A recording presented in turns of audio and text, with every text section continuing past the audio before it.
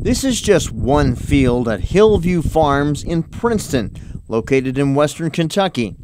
Owner Trevor Gilkey rotates corn, soybeans, and wheat on this 138 acre tract of land, which he irrigates with a center pivot, drawing water from this large pond on the back side of the property.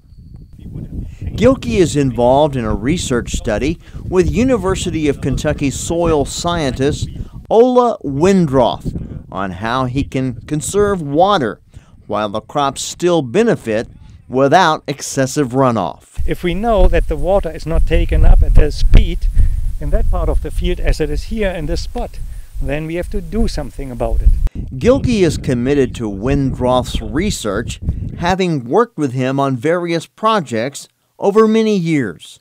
And I've worked with a lot of researchers. I've probably not run into any of them that probably works as hard as what Ole does because he's out here with a shovel and uh, uh, probes. I mean, he's he is hands-on, and I, I like the hands-on. Ole is a basic research scientist, um, but he is very committed to making sure that anything that he finds out and looks at in terms of soil physics or soil properties has an application for Kentucky producers. In order to get that information and to make sure that water is applied to the places in the field where it is needed, workers are modifying this center pivot, equipping each individual sprinkler with the technology that will regulate the rate of flow to each nozzle. Thanks to Wendroth's extensive sampling and research in this field, they already know the algorithm. The cutting edge research is being conducted near the University of Kentucky's new Grain and Forage Center of Excellence. And its director said the research has implications for all of the state's grain farmers. Hopeful that it is. It's confirmed, well, then that model applies to nearly all of the irrigated acres that we have in Kentucky currently. And that's exciting because then it becomes applicable to a lot of farms across the state.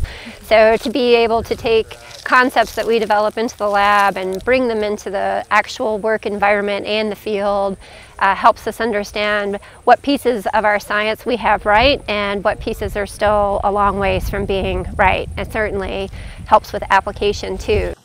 Gilkey will be able to use the technology in this field with next year's crops while Wendroth will use the information he collects to support his research. Yes, that is a great challenge, but I, I see it more as a great opportunity.